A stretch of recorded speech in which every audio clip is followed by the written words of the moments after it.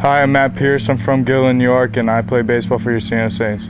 What I like about Siena is that it's a, a small campus. I'm a local kid, and I like being close to home.